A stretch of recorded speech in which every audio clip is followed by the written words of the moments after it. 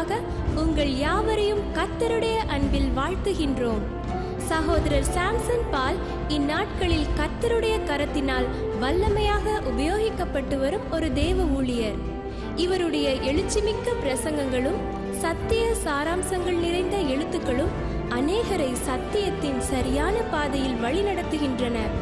இப்பொழுதும் சகோதரர் சாம்சன் பால் மூலமாக கர்த்தருடைய அருள் வார்த்தைகளை கேட்க உங்களை அன்புடன் அழைக்கின்றோம்.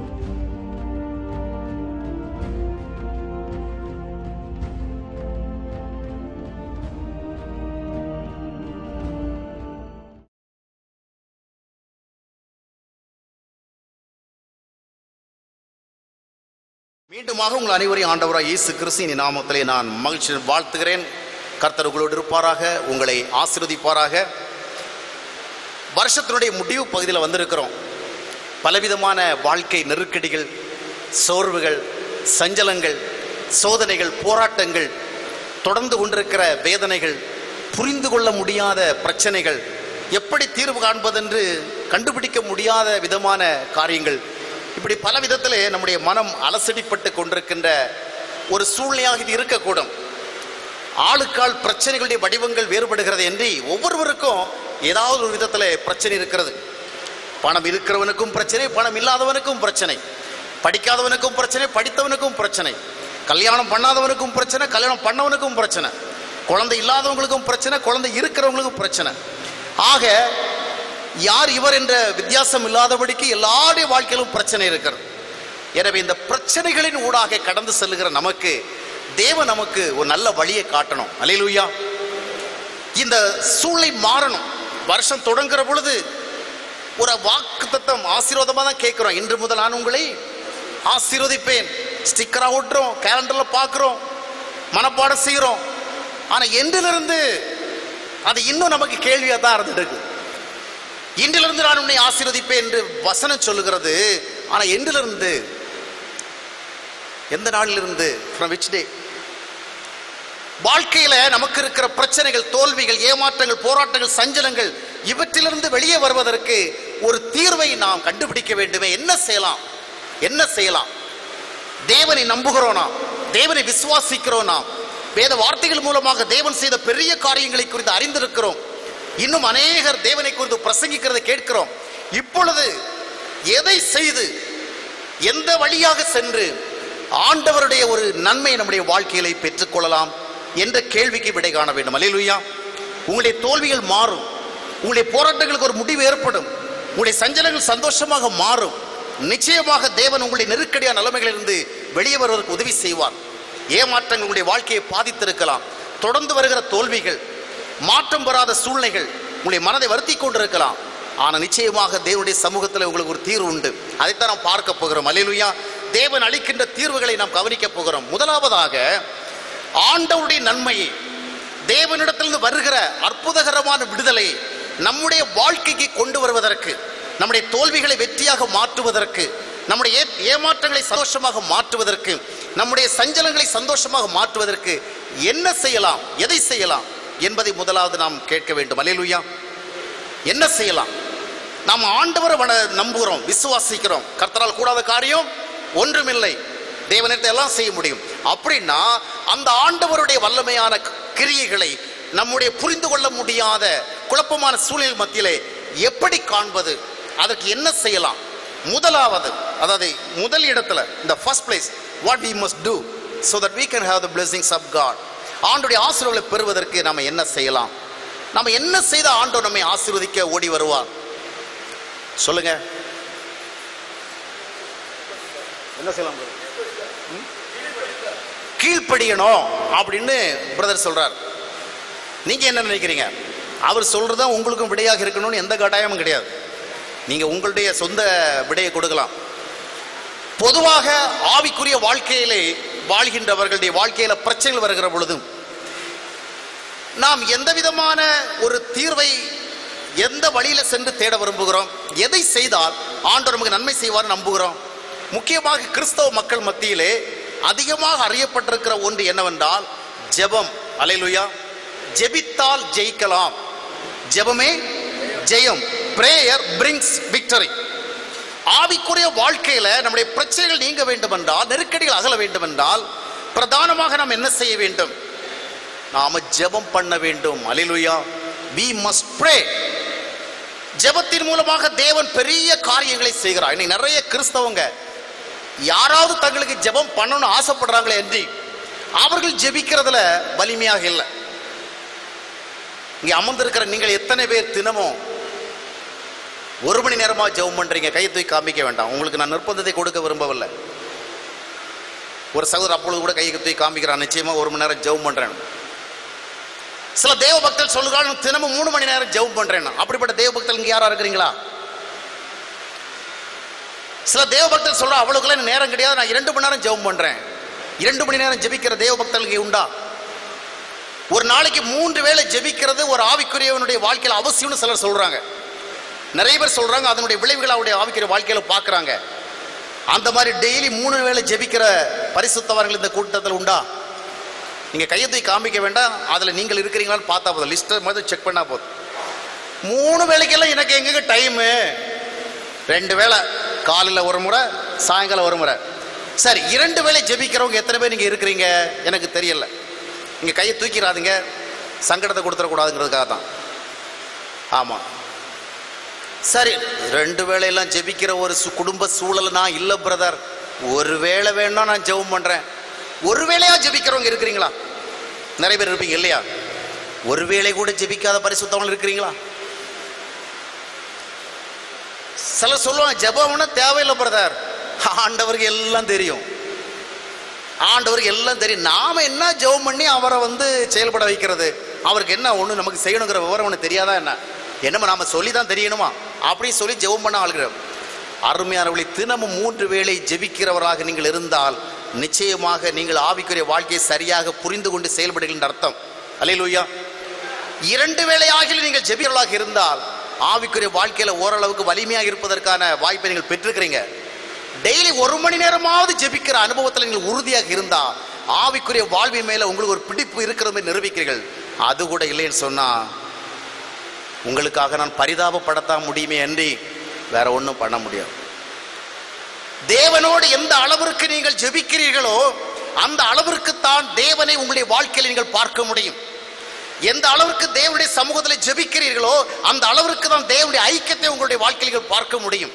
தேவ ஐக்கியத்தை உங்களுடைய வாழ்க்கையிலே தேவ உறவை உங்களுடைய வாழ்க்கையிலே தேவன் உங்களோடு தொடர்பு கொள்வதை உங்களுடைய வாழ்க்கையிலே பார்க்க விரும்பினால் குறைந்தபட்ச ஒரு மணி நேரமாவது தினமும் தேவனுக்காக செலவு பண்ணுங்க. அல்லேலூயா ஆகையால் ஜெபிப்ப ஜெபிப்பதன் மூலமாக நம்முடைய வாழ்க்கையினுடைய பிரச்சனைகளை மேற்கொள்வதற்கு நல்ல வாய்ப்பு இருக்கிறது.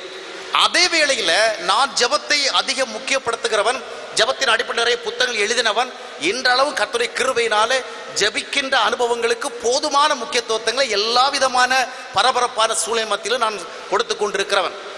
ஆனால் முதலாவது உங்கள் முன் வைக்கப்பட்ட கேள்வி என்னவென்றால் நம்முடைய வாழ்க்கையில் இருக்கிற பிரச்சனைகளை மேற்கொள்வது எப்படி? தோல்விகளை மாற்றுவது எப்படி? பிரச்சனைகளை தீர்வு காண்பது எப்படி? இதுக்கு நாம் என்ன செய்யணும்? இதற்கு தீர்வு காண முதலாவது நீங்கள் ஜெபத்தை முதலிடத்திலே வைக்காதிருங்கள்.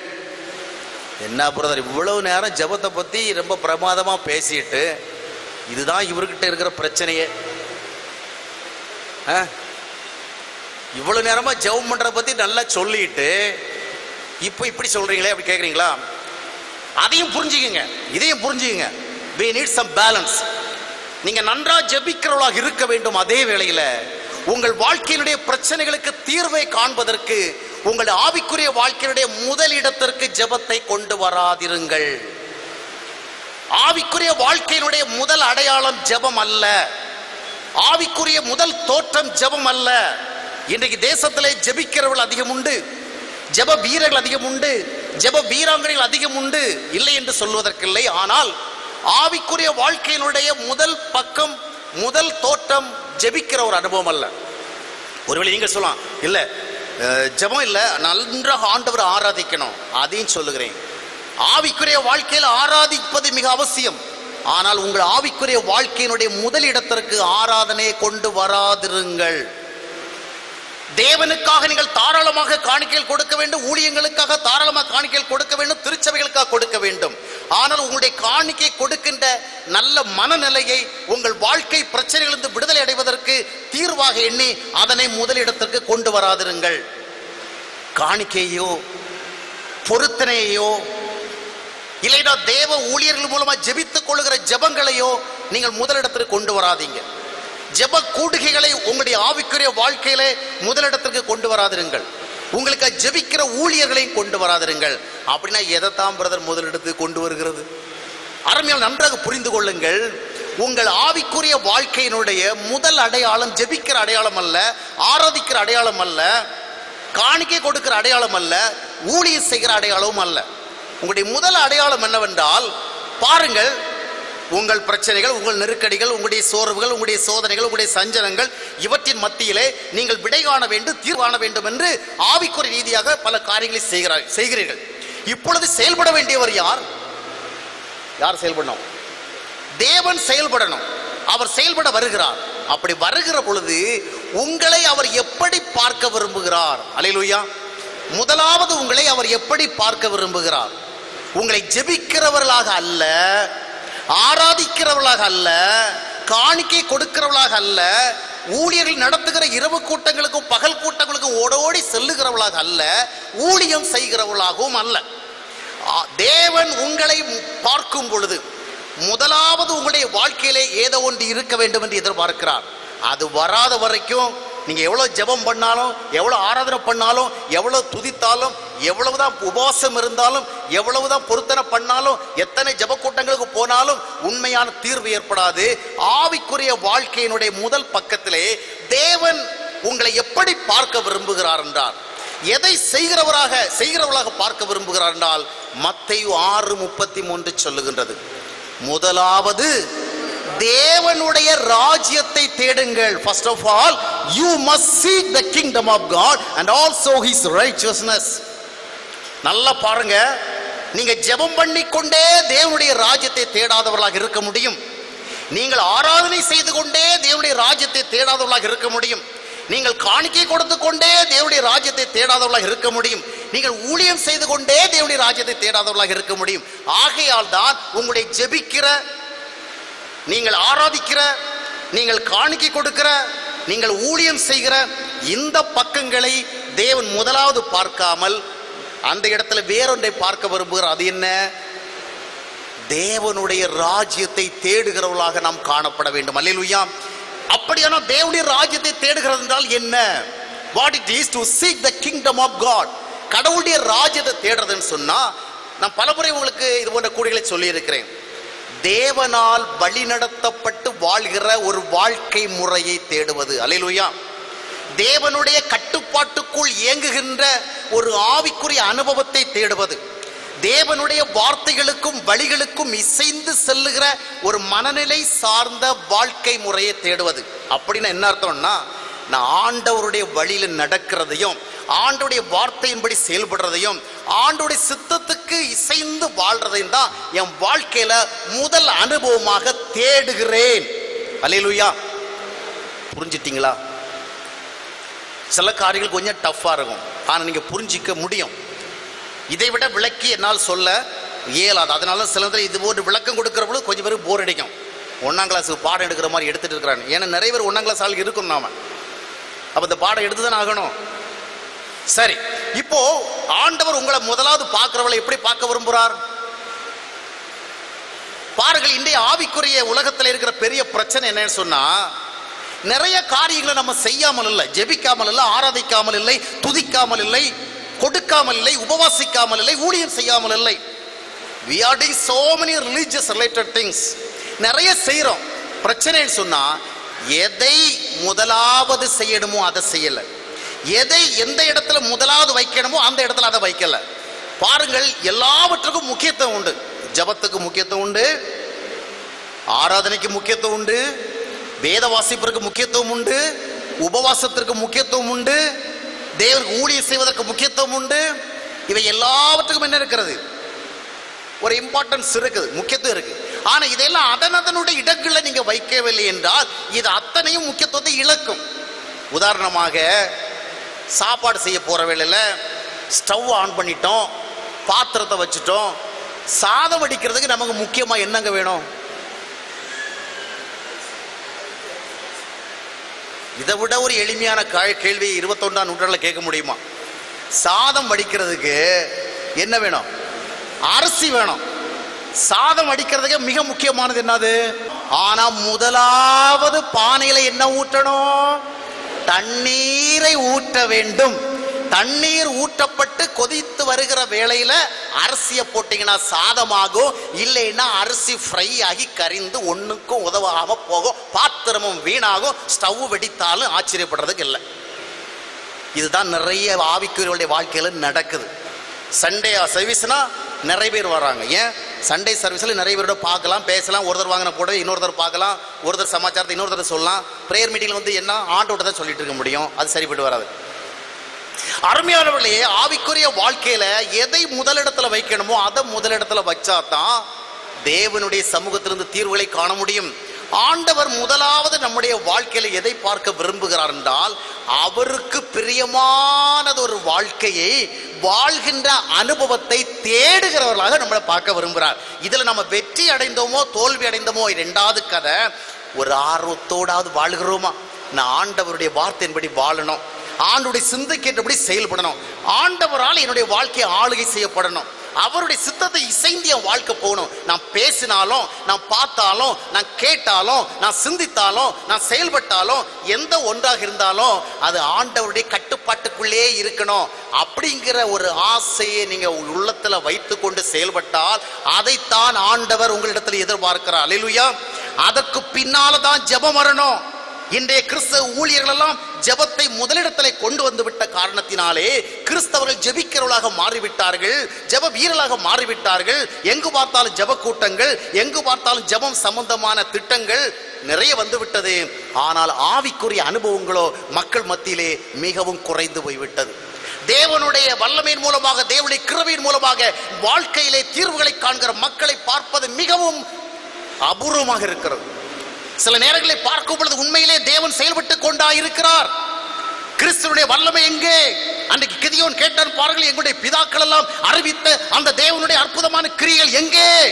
நாங்கள் அந்நியர்களுக்கு அடிமைப்பட்டு கிடக்கிறோம். எங்களுடைய சொந்த சிரமங்களினுடைய விளைவாக உருவாகிற பயிர் பச்சைகளை கூட எங்களால் பாதுகாக்க முடியவில்லை. ஹோர் இஸ் that காட் இன்றைய நிலையில் அதுதான் பார்க்க முடிகிறது. கிறிஸ்தவர்கள் மத்தியிலே கிறிஸ்து செயல்படுகிறாரா? சபைகளுக்கு மத்தியிலே கிறிஸ்து செயல்படுகிறாரா? ஊழியங்களுக்கு மத்தியிலே கிறிஸ்து செயல்படுகிறாரா என்பதை பார்ப்பது அற்பூர்வமாக இருக்கிறது.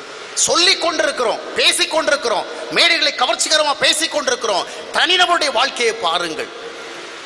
ஒவ்வொருடைய தனித்தனியா சந்தித்து பேசுகிற பொழுது தேவனுடைய வல்லமை அவருடைய வாழ்க்கையிலே அவர் பார்க்காத ஒரு வெறுமையை பார்க்க முடியும். காரணம் என்னவென்றால் எதை இரண்டாவது இடத்தில் வைக்க வேண்டுமோ அதை முதலிடத்திற்கு கொண்டு வந்தார்கள். முதலிடத்தில் வைக்க வேண்டியவைகள் பின்னிருக்கைக்கு போய்விட்டது. அருமையான கிறிஸ்தவ சகோதர சகோதரிகளே உங்களுடைய வாழ்க்கை பிரச்சனைகளிலிருந்து நீங்கள் தீர்வு காண விரும்புகிறீர்களா? தீர்க்க தரிசனங்களை நாடாதிருங்கள் முதலாவது. ஊழியர்களுடைய ஜெபத்தை நாடாதிருங்கள் முதலாவது. ஊழியர் நடத்துகிற கூடுகைகளை நோக்கி ஓடாதிருங்கள் முதலாவது. உபவாசித்து தீர்வு காண விரும்பாதீர்கள் முதலாவது. ஆண்டவருக்கு உங்களுடைய வாழ்க்கையை அர்ப்பணித்து ஆண்டுடைய சித்தப்படி வாழ வேண்டும் என்கின்ற ஒரு ஆசையை உருவாக்கிக் கொள்ளுங்கள். அல்லேலூயா அப்பொழுது உங்களுக்கு தீர்வு கிடைக்கும் இது ஆண்டவருடைய வார்த்தை. இது ஆண்டவருடைய அருள் வாக்கு என்ன சொல்லுகிறது? முதலாவது தேவனுடைய ராஜ்யத்தை தேடு. அப்பொழுது எல்லாம் கூட கொடுக்கப்படும். உனக்கு அமைதி தேவையா? சந்தோஷம் தேவையா? விடுதலை தேவையா? உன் வாழ்க்கையிலே ஒரு தீர்வு காண்பது தேவையா? உன் தேவைகள் சந்திக்கப்படும். இன்று நம்முடைய வாழ்வினுடைய பிரச்சனைகள் ஏன் நீங்கவில்லை? ஏன் போராட்டங்கள் மாறவில்லை? ஏன் சஞ்சலங்கள் அகலவில்லை? ஏன் துக்கங்கள் ஓடி போகவில்லை? ஆண்டவர் முதலாவது நம்முடைய வாழ்க்கையில எதை எதிர்பார்த்தாரோ அதை நாம் செய்வதிலே பின்தங்கி இருக்கிறோமோ ஏனென்றால் தேவன் ஒருபோதும் பொய் சொல்ல மாட்டார். அலையலூயா நான் இருபத்தைந்து ஆண்டு காலமாக அவரோடு பழகி கொண்டிருக்கிறேன். என்னுடைய வாழ்க்கையில் நிறைய மேடு பள்ளங்கள் உண்டு வளைவினலிகள் உண்டு ஏமாற்றங்கள் தோல்விகள் உண்டு. ஆனால் இன்றும் ஆண்டவர் சொன்ன வார்த்தை என் வாழ்க்கையிலே உண்மை உண்மை உண்மை என்பதுதான் இதுவரை நிரூபிக்கப்பட்டு கொண்டிருக்கிறது. அல்லேலூயா. என்னை ஒரு பெரிய பணக்காரராக்கவில்லை. என்னை ஒரு பெரிய பங்களாவாசியாக மாற்றவில்லை. என்னை ஒரு பெரிய லக்ஸூரிஸ் பர்சனாக அவர் மாற்றவில்லை.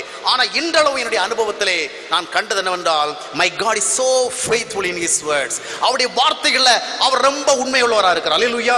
அப்படியானால் அவருடைய வார்த்தை சொல்லுகிறது உனக்கு எல்லாம் கொடுக்கப்படும்.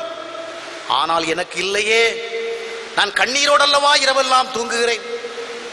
நான் சோர்வோடல்லவா வாழ்கிறேன். திருச்சபைகளுக்கு சென்றால் அங்கும் என்னுடைய முகத்தை மலர்ச்சியாக்கிக் கொள்ள முடியவில்லையே.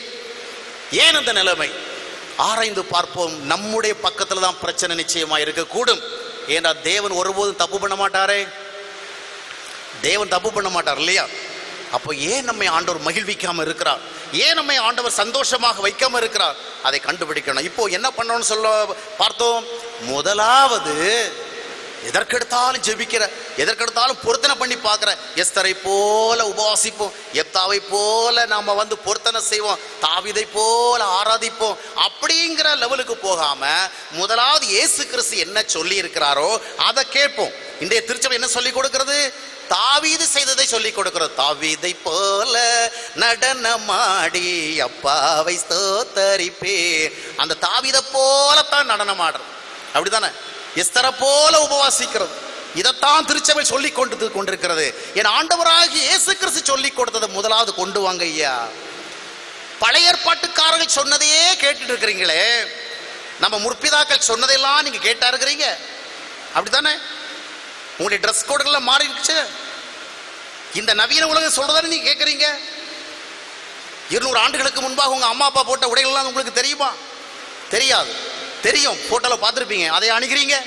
அவங்க சாப்பாடு சாப்பிட்ட அது எப்படிப்பட்ட சாப்பாடு உங்களுக்கு தெரியுமா? அது போட்ட சாப்பாடே சாப்பிட்றீங்க. அவர்கள் படித்த பள்ளிக்கூடத்தில் படிக்கிறீங்க. அவங்க வேலை செஞ்ச இடத்துல வேலை செய்கிறீங்க அவங்க மருத்துவம் பார்த்த முறையில் மருத்துவம் பார்க்குறீங்க. எல்லா விதம் மாறி இருக்கிறீங்களே. அப்போ இந்த காலத்தில் வாழுகிறான் புதிய ஏற்பாட்டுக்கு ஏற்றபடி மாறணும். அலையிலுயா தாவீதை போல அல்ல இயேசுவை போல. அலையிலுயா தாவீதை போல அல்ல தாவிதை போல் நடனம் ஆடுகிறதுனால யாருடைய பக்தி முழுமையாகிறது இல்லை இயேசு கிறிஸ்துவை போல வாழ்ந்து காட்டு. அலையிலுயா அதுதான் இந்த சமுதாயத்துக்கு தேவை. இந்த சமுதாயத்தில் நடனம் ஆடுவதற்கு நிறைய பேர் இருக்கிறாங்க. கொஞ்சம் விட்டா இங்கேயே பாதி பேர் ஆடுவீங்க.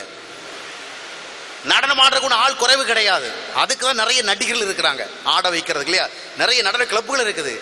வாழ வைக்கிறதுக்கு ஒரு ஆண்டவர் தேவை. அதுதான் ஆண்டவரா இயேசு கிறிஸ்து. அலையிலுயா எனவே முதலாவதாக உங்களுடைய வாழ்க்கையிலே நீங்கள் தேவனுடைய ராஜ்யத்தை தேடுகிற அனுபவத்தை கொண்டு வாங்க. அப்படின்னு என்ன அர்த்தம்? தேவ சித்தத்தின்படி நம்ம வாழணும். அவ்வளவுதான். புரிஞ்சுக்கிட்டீங்களா?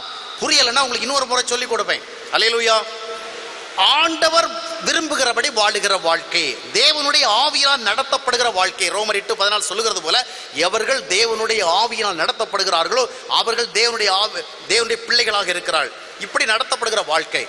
இப்போ எப்படி வாழ வேண்டும் என்று நான் சொல்லிக் கொண்டிருக்கிற அதே வேளையில் இதில் இருக்கிற பிராக்டிக்கல் டிஃபிகல்டிஸே நான் உங்களுக்கு முன்பாக அதை எக்ஸ்போஸ் பண்ண விரும்புகிறேன். தேவனுடைய ராஜ்யத்தை நீங்கள் தேடி கண்டடைய முடியுமா? ஒரு சராசரி மனிதன் ஆண்டவர் விரும்புகிறபடி வாழ விரும்புகிறான். ஆண்டுடைய சுத்தம் செய்ய விரும்புகிறான்.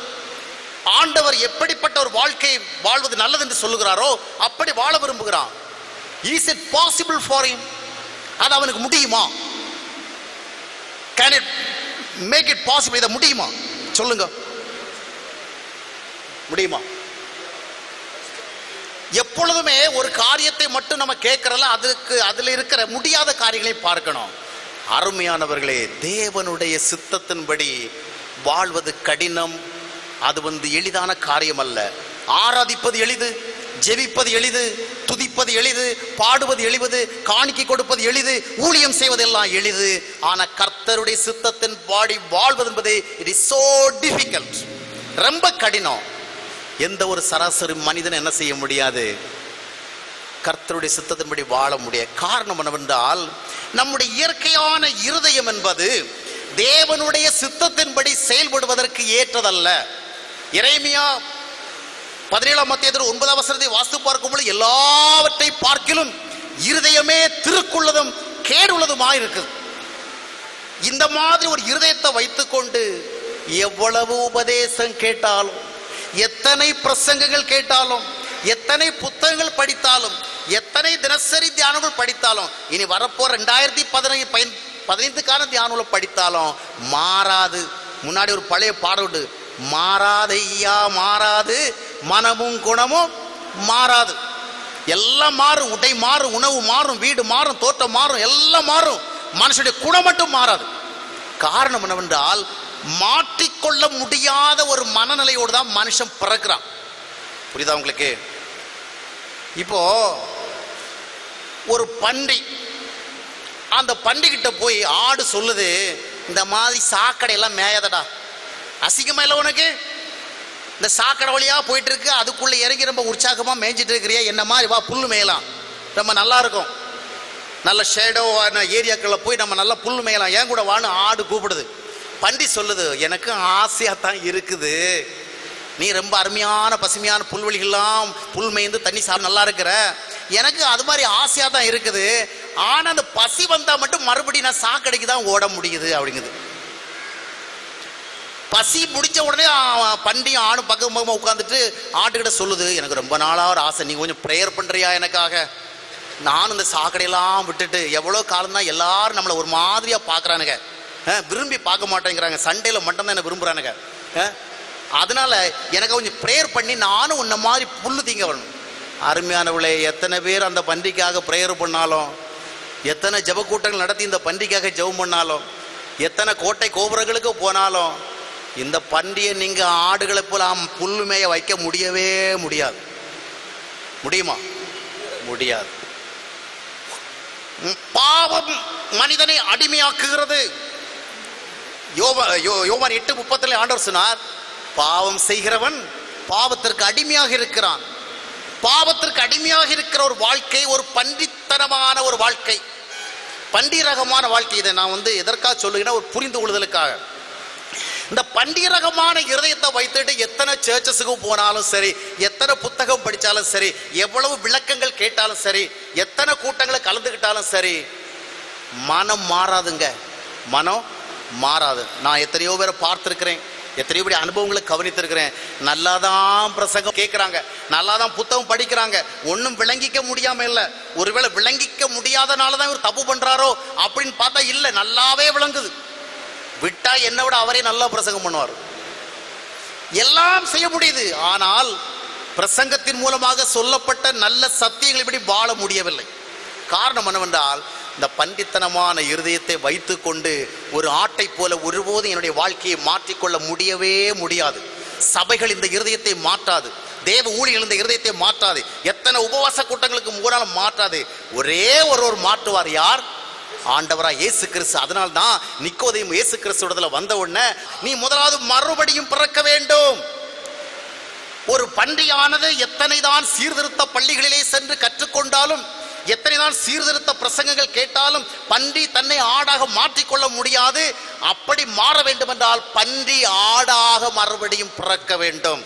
நான் சமீபத்தில் ஒரு பத்திரிகையில் ஒரு சின்ன துணுக்கு படித்தேன் அதில் ஒருத்தர் கருத்து சொல்வார் எல்லோருக்கும் பரலோகம் போவதற்கு ஆசை. ஆனால் ஒருவருக்கும் சாவதற்கு ஆசை இல்லை. எல்லாருக்கும் பரலோகம் போகிறதுக்கு ஆசை. ஆனா செத்தாதானே போக முடியும்? சாகாமலே போக முடியுமா? ஏசுநாதர் போல போனாருன்ட்டு. செத்தாலாம் போக முடியும் இல்லையா? ஆனால் எல்லாருக்கும் பரலோகம் போக ஆசை. சாகிறதுக்கு ஆசை இல்லை. பரிசுத்தமாக வாழ்றதுக்கு நம்ம எல்லாரும் தான் ஆசைப்படுறாங்க. யாருக்கு இங்கே ஆசை இல்லை?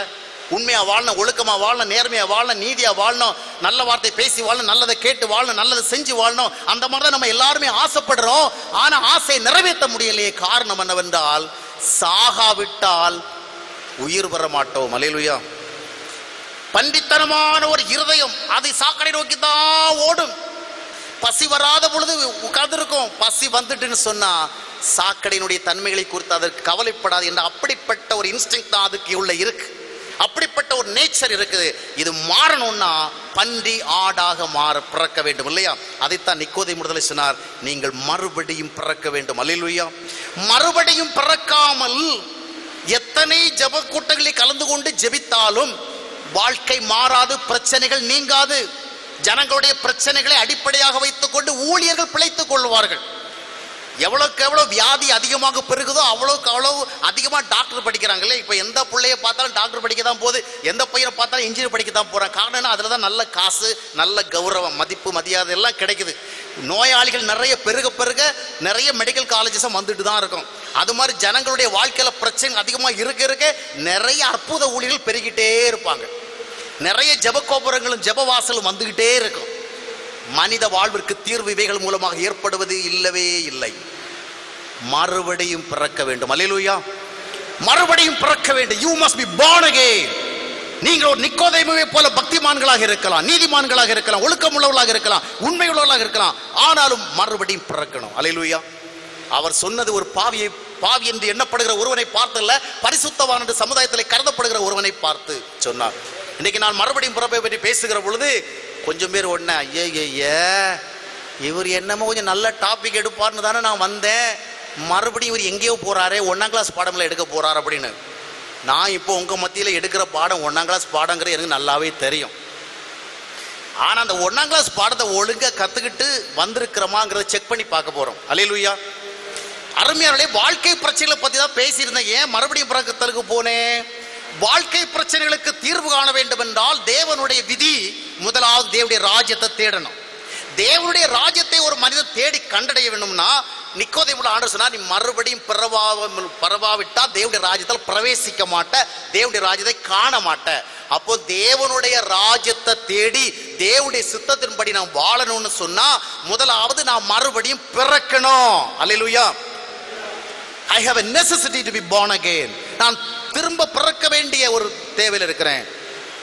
இவ்விதமாக பேசுகிற பொழுது உங்களில கொஞ்சம் பேர் நினைக்கலாம். பரவாயில்ல இன்னைக்கு உள்ள சப்ஜெக்ட் நமக்கு கிடையாது. நம்ம சாப்பிட்டுட்டு போயிட வேண்டியதான் அப்படின்னு. அருமையானவர்களே ஒருவேளை நீங்கள் அப்படி நினைத்து கொண்டிருந்தால் அந்த நினைவுகளை நான் எதிர்த்து நிற்க விரும்பவில்லை. இப்பொழுது நான் பார்க்க போகிறது என்னவென்று சொன்னால் நான் உங்களிடத்துல நீங்கள் மறுபடியும் பிறக்க வேண்டும் பிறக்க வேண்டும் என்று சொல்லுவதை விட நீங்கள் மறுபடியும் பிறந்தீர்களா? அப்படின்னு கேட்க போறேன். அலிலுயா நீங்கள் மறுபடியும் பிறந்தது உண்மையா? அப்படின்னு கேட்க போறோம் அது என்னுடைய சொந்த ஆசை இல்ல. இந்த வேத வசனங்கள் அப்படி சொல்லுகிறது. இப்போ நாம என்ன பண்ண போறோம்னா வாழ்க்கையிலுடைய பிரச்சனைகளுக்கு தீர்வு காண போகிறோம். வாழ்க்கையுடைய பிரச்சனைகளுக்கு தீர்வு காணா தேவனுடைய ராஜ்யத்தை தேடணும். தேவனுடைய ராஜ்யத்தை தேடணும்னா என்ன பண்ணணும்? மறுபடியும் பிறக்கணும். மறுபடியும் பிறந்திருக்கிறோமா? இல்லையா? அப்படிங்கிறத முதல்ல செக் பண்ணிட்டு மறுபடியும் பிறக்கிறத இந்த நாளில் என்ன பண்ணணும் நம்ம கம்ப்ளீட் பண்ணணும் முழுமையாக்கணும். அலையிலுயா மறுபடியும் பிறந்த ஒரு அனுபவத்தோடு இந்த இடத்த விட்டு கடந்து போனோம். நான் எதுக்கும் வீட்டில் போய் பிறக்கிறேன்னு நீங்கள் லேட் பண்ண வேண்டிய தேவையில்லை. எதாச்சும் ஒரு கூட்டத்துக்கு வந்த இடத்துல பிறந்து போகிறதோட சரி பிரதர் நான் பிரசங்கெல்லாம் கேட்டு போகிறேன் நான் வீட்டில் போய் பிறக்கிறேன். இல்லை கொஞ்சம் வேலை இருக்கு முடிச்சுட்டு அடுத்த வாரம் பிறக்கிறேன். அப்படி யாரும் முடிவு பண்ணாதுங்க. யாரெல்லாம் இன்னும் மறுபடியும் பிறக்கலையோ அத்தனை பேர் இங்கேயே பிறந்துட்டு போகணும். கிறிஸ்தவர் அல்லாதவர்கள் செய்தியை கேட்டால் அந்த ஆள் என்ன பிரசங்கம் பண்ணுறானே தெரியலையே. எல்லாரும் முழுசு முழுசா இருக்கிறாங்க. அவங்க குழந்தை பிள்ளைகள் எல்லாம் பெற்று கல்யாணம் பண்ணி கொடுத்துருக்குறாங்க. இப்போ இவர் வந்து பிரசங்கம் எல்லாரும் பிறக்கணும் பிறக்கணுங்கிறாரு. கொஞ்சம் உட்காந்து கேட்டால் தான் விளங்கும். அலிலுயா முதலாவது நாம் மறுபடியும் பிறந்திருக்கிறோமா? மறுபடியும் பிறந்த அதை எப்படிங்க கண்டுபிடிக்கிறது? என்கிட்ட நிறைய பேர் கேட்குற கேள்வி இது. பிரதர் நான் ரட்சிக்கப்பட்டிருக்கிறேன். ஞானஸ்தானம் பெற்றிருக்கிறேன். சர்ச்சுக்கெல்லாம் போகிறேன் பைபிள் படிக்கிறேன். அது சரி நான் ரட்சிக்கப்பட்டிருக்கிறேங்கிறதை எப்படி அறிகிறது? நான் மனம் திரும்பி மறுபடி பிறந்திருக்கேன் என்பது எப்படி அறிகிறது? அதனால இப்பொழுது மறுபடியும் பிறந்தால் அது எப்படி இருக்கும் என்பதை குறித்து பார்க்க போகிறோம். அலிலுயா யாரும் கவலைப்படாதீங்க. உங்களுடைய வாழ்க்கையை நீங்க சரியாக கண்டுபிடிச்சிட்டீங்கன்னு சொன்னா உங்க பிரச்சனையில 75% சதவீதத்துக்கு நீங்க தீர்வு கண்டாச்சு. இன்றைக்கு இந்த கூட்டத்தினுடைய வாயிலாக சொல்லப்படுகிற வார்த்தைகள் மூலமாக நான் இன்னும் மறுபடியும் பிறக்கல அப்படிங்கிறத நீங்க கண்டுபிடிச்சிட்டீங்கன்னா கஷ்டப்படாதீங்க. அதுதான் உங்களுடைய ஆசீர்வாதத்துடைய முதல் படி. அலையிலுயா ஒரு புதிய திருப்பம் நடக்க போறேன் இப்போ நான் நேரம் குறைவா அப்படின்னால வேகம் வேகமா சொல்ல போறேன். மறுபடியும் பிறந்தது உண்மையா இல்லையா? யாரெல்லாம் கையை தூக்கி காமிக்க நான் மறுபடியும் பிறந்திருக்கிறேன் அப்படி என்னால் உறுதியாக சொல்ல முடியும்னு கையை தூக்கி காமிக்கிற எத்தனை பேர் ஆயத்தமாக இருக்கிறேன் இப்போ கையை தூக்குங்க. நான் உண்மையிலேயே மனம் திரும்பி இருக்கிறேன் மறுபடியும் பிறந்திருக்கிறேன். இன்னும் நிறைய பேருக்கு கை இருக்குது மேலே போகலை. அப்படின்னா நான் எப்படி தான் முடிவு பண்ண வேண்டியிருக்குது நீங்கள் நிறைய பேர் இன்னும் என்ன இன்னும் என்ன செய்யலை? மறுபடியும் பிறக்கவே இல்லை. நாங்கள் இந்த மறுபடி பிறக்கிறது மூணாம் முறை பிறக்கிறது நாலாம் முறை இந்த இதெல்லாம் நமக்கு வேண்டாம் பிரதர் ஒரு பிரசங்க கேட்கறதுக்கு தான் வந்திருக்கிறோம். அதோட முடிச்சிங்க. அப்படி நீங்கள் நினைக்கக்கூடும். சரி கொஞ்சம் பேர் கையை தூக்கினீங்களா உங்களுக்காக முதலாவது பிரசங்கம் பண்ண போகிறேன் அதுக்கு பிறகு தான் மற்றவங்களுக்கு. அலையிலுயா இப்போ கையை தூக்குற நீங்க எல்லாம் மறுபடியும் பிறந்திருக்கிறீங்கிறத நிச்சயப்படுத்தி அந்த மறுபடியும் பிறத்தலுக்குரிய ஒரு வாழ்க்கையை நீங்க வாழ்ந்துட்டீங்கன்னு சொன்னால் அந்த கையை தூக்காதவங்க எல்லாம் மறுநாள் என்ன பண்ணிடுவாங்க? நிச்சயமா மறுபடியும் பிறக்கிறதுக்கு முன் வந்துருவாங்க. இப்போ மறுபடியும் பிறக்கிற ஒரு அனுபவத்தினுடைய முதல் அடையாளம் என்ன? வாட்ஸ் அ ஃபர்ஸ்ட் மார்க் முதல் அடையாளம் ஃபர்ஸ்ட் சைன் என்ன? ஒரு மறுபடியும் பிறந்தா என்ன நடக்கும்? நீங்கள் கொஞ்சம் தூரமாக இருக்கிறீங்க இல்லைன்னா நான் பக்கத்தில் வந்து உங்கள்கிட்ட கேட்க முடியும்.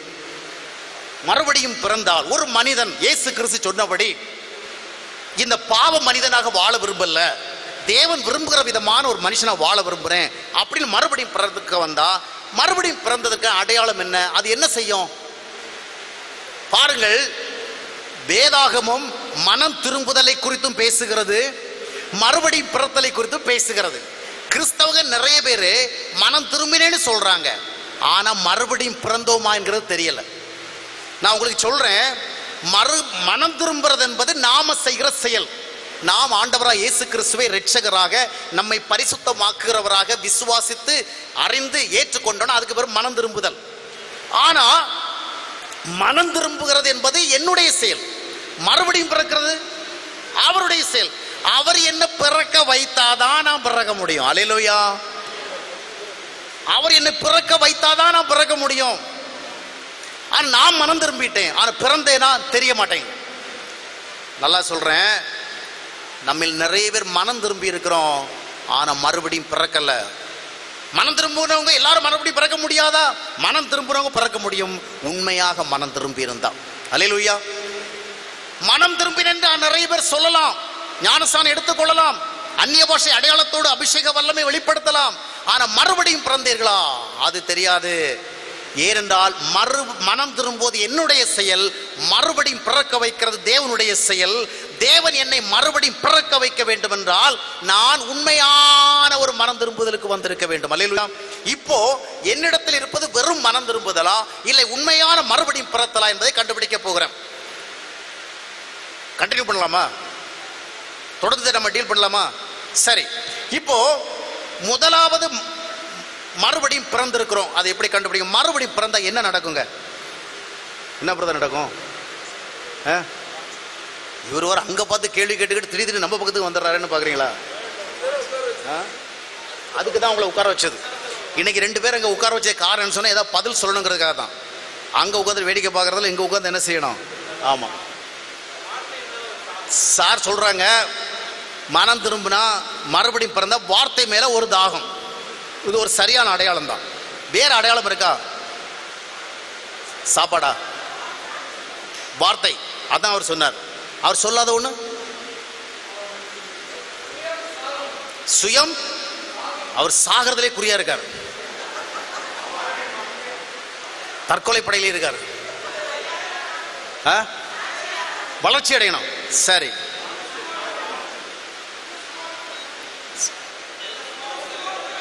சுபாவம் மாறணுமா? ம் சரி. எல்லாம் உங்களுக்கே தெரியுது. சாப்பிட போயிடலாமா? சரி.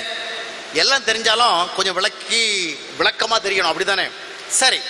நான் உங்களுக்கு சில காரியங்களை மட்டும் சொல்லுகிறேன். நான்கு காரியங்களை சொல்ல வருவேன் ஒன்று நீங்கள் ஏன்னா நேரம் குறைவாக இருக்கிற அப்படின்னாலும் நான் ரொம்ப விரிவாக பேச முடியலை. ஒரு மனிதன் மனம் திரும்பினேன் என்று சொல்லலாம். மனம் திரும்புவது என்பது என்னுடைய முடிவு. ஆனால் மறுபடியும் பிறப்பது என்பது ஆண்டவர் செய்வது ஆவியினால் நடப்பது. ஆவியினால் தான் மனம் திரும்பும் மறுபடி பிறக்க முடியும். மறுபடி பிறந்தால் முதலாவது நடப்பது என்னவென்றால் யோவன் சொல்றாரு தேவனால் பிறந்தவன் எவனும் பாவம் செய்ய மாட்டான். ஒன்று யோவான் மூன்று ஒன்பது ஐந்து பதினெட்டு. ரெண்டு வசனத்திலையும் சொல்றாரு தேவனால் பிறந்தவன் எவனும் பாவம் செய்ய மாட்டான். அந்த மாதிரி கையை தூக்குனதுல யாராவது இருக்கிறீங்களா? நல்லா கவனிங்க பைபிள்ல சொன்னதை நான் சொன்னேன். மிகப்பெரிய அப்போஸ்தலன் யோவான் சொல்றாரு ஒருவன் தேவனால் பிறந்திருந்தால் you he has been born again he can never sin பாவம் செய்ய மாட்டான். நீங்க கையை தூக்கி காமிச்ச எத்தனை பேர் இதுவரை மனம் திரும்பின பிறகு பாவமே செய்யல அப்படி சொல்ல முடியும்? ஏ ஒரு தடவை கையை தூக்க மாட்டேங்கிறாங்க. நாலு பேர் தூக்கணும் நம்மளும் சேர்ந்து தூக்கலாம்னு போய் யோசிக்கிறோம். ஆ? மறுபடியும் பிறந்தேன்னு சொன்னீங்க. இப்போ யோவான் சொல்றார் மறுபடியும் பிறந்தவனுடைய முதலாளியாலும் பாவம் செய்ய மாட்டான். இப்போ ஏன் கையை தூக்க மாட்டேங்கிறீங்க? சரி. இந்த யோவான் ஒரு புறம் சொல்றாரு தேவனால் பிறந்தவர் எவனும் பாவம் செய்ய மாட்டான். சரி நல்லது. ஒன்று யோவான் ஒன்றாம் மத்தியுடைய கடைசி வசனத்தை வாசிங்க. ஒன்று யோவான் ஒன்றாம் மத்தியத்தினுடைய கடைசி வசனம். நாம் பாவம் செய்யவில்லை என்போமானால் நாம் அவரை பொய்யராக்கிறவர்களாய் இருப்போம். நான் பாவம் செய்யவில்லை என்போமானால் அவரை பொய்யராக்குவோம். அவருடைய வார்த்தை நமக்குள் இராது. ஆமா. அடுத்த ரெண்டாவது அத்தியாயத்தினுடைய முதல் வசனம் வாசிங்க. என் பிள்ளைகளே நீங்கள் பாவம் செய்யாதபடிக்கு இவைகளை உங்களுக்கு எழுதுகிறேன். ஒருவன் பாவம் இயேசு கிறிஸ்து பிள்ளைகளே நீங்க பாவம் செய்யக்கூடாதுன்னு சொல்றேன். பாவம் செய்வானானால் யாரு? பிள்ளைகள் யாரு? நீதிபரராயிருக்கிற இயேசு கிறிஸ்து நமக்காக பிதாவினிடத்தில் பரிந்து பேசுகிறவராய் இருக்கிறார் பாருங்கள் ஒரு புறம் பாவமே செய்ய மாட்டேன்னு சொல்றாரு. பாவம் செய்யலன்னா எதுக்கு இவர் பரிந்து பேசுறாரு? நம்முடைய பாவங்களை நிவர்த்தி செய்கிற ம். கிருபாதார பலி அவரே. நம்முடைய பாவங்களை நிவர்த்தி செய்கிற கிருபாதார பலிவர் நல்ல கவனிங்க. ரெண்டு வசனம் சொல்லுது தேவனால் பிறந்தவன் எவனும் பாவம் செய்ய மாட்டான். அடுத்து அதே மனுஷன் எழுதின அதே நிருபத்தில் என்ன சொல்லுதுன்னா நீங்கள் பாவம் செய்தால் உங்கள் பாவங்களுக்காக இயேசுநாதர் பரிந்து பேசுவார் அப்படி ரத்தத்தினால் நீங்கள் கழுவப்படுவீங்க. இது என்னங்க இது? பாவமே செய்யலன்னா அப்புறம் எதுக்கு பரிந்து பேசுகிற காரியம் வருது?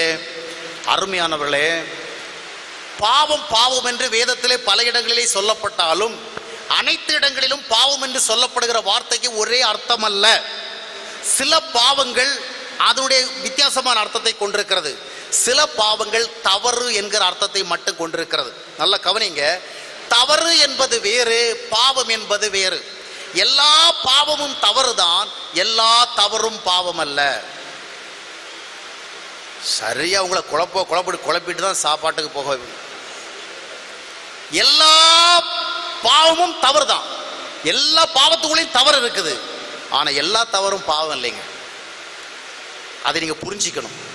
ஒருவன் மறுபடியும் பிறக்கின்ற பொழுது பாவம் செய்யாமல் வாழ்வதற்கான ஒரு இயற்கைக்குள்ளே வருகிறது. அலையலுயா. தேவ ஆவி அவனுக்குள்ளே வருகின்ற பொழுது நான் பாவம் செய்யாமல் பரிசுத்தமாக வாழ வேண்டும் என்கிற ஒரு ஆர்வம் வருகிறது. ஆனாலும் அவன் சில நேரங்களிலே தவறி விடுகிறான். பேசக்கூடாததை பேசி விடுகிறான். செய்யக்கூடாதை செய்து விடுகிறான். கேட்கக்கூடாதை கேட்டு விடுகிறான். பார்க்க கூடாதை பார்த்து விடுகிறான். போகக்கூடாத இடத்துக்கு போய் விடுகிறான். ஆனால் அவன் அப்படியே இருக்கல. அலையிலுயா பாவம் என்றால் என்னவென்றால் தேவனை குறித்த பயம் இல்லாமலும் தேவன் வருந்துவாரே என்கிற சிந்தனை இல்லாமலும் தேவனை குறித்த மன வருத்தம் இல்லாமல் சுய சித்தம் சார்ந்து செயல்படுவதுதான் பாவம். அதே நேரத்தில் மறுபடியும் பிறந்த ஒரு மனிதனுடைய வாழ்க்கையிலும் கூட சில தவறுகள் நேரிடும். ஆனா தவறு நிகழுகின்ற பொழுது என்ன நடக்கிறது என்றால் அவன் அந்த தவறை மனமதார விரும்பி செய்யல. செய்யக்கூடாது செய்யக்கூடாது செய்யக்கூடாதுன்னு தான் மனசுல வச்சிருக்கிறான். ஏதோ ஒரு சூழ்நிலை ஏதோ ஒரு உணர்ச்சி வேகம் ஏதோ ஒரு இச்சை வேகம் அவனை செய்யக்கூடாதை செய்ய வைக்கிறது. விரும்பி செய்யல நம்ம சின்ன பிள்ளைகள் வீட்டில் திருடி சாப்பிட்றாங்கல்ல பார்த்துருக்கிறீங்களா? அவங்க ரொம்ப வந்து ஃப்ரீடத்தோட செய்யறதில்ல.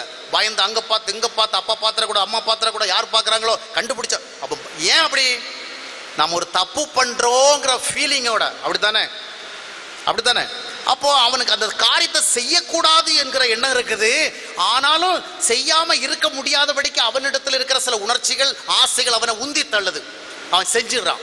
செஞ்ச பிறகு என்ன செய்யல?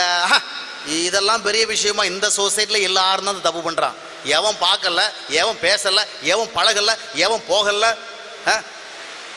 கல்யாணம் பண்ணிட்டு இன்னொரு பொண்ணோட பழகுனா ஏன்? இதெல்லாம் பெரிய விஷயமா அவன் ஏழு பேர் எட்டு பேரோட பழகிட்டு இருக்கான் நான் ஒருத்தரோட தான் பழகிட்டு இருக்கிறேன் அப்படிங்கிறான். அதாவது பாவம் செய்கிறவன் என்ன செய்கிறான்டால் தேவனை குறித்து பயப்படவில்லை. அவருக்கு இது பிடிக்குதோ பிடிக்கலையோ அதை பத்தி எனக்கு கவலை இல்லை. நான் செய்கிறத அவரை வருத்துகிறதோ வருத்தவில்லை அது எனக்கு கவலை இல்லை. செஞ்சு முடிச்ச பிறகு அவனுக்கு அதை பத்தி எந்த விதமான கருத்தும் இல்லை. அருமையானவர்கள் எந்த ஒரு தவறையும் நீங்கள் செய்து அதற்கு பிறகு அதை குறித்த மன வருத்தம் இல்லாமல் தொடர்ந்து அது போன்ற தவறுகளை செய்து கொண்டிருக்கிறீர்களா? நீங்கள் இன்னும் பாவிகளாக இருக்கிறீர்கள். பாவம் செய்கிற இயற்கையிலிருந்து வெளியே வரல. ஆனால் ஏதோ ஒரு நேரத்தில் தவறிடுறோம். ஏதோ ஒரு நேரத்தில் தப்பு பண்ணிடுறோம்.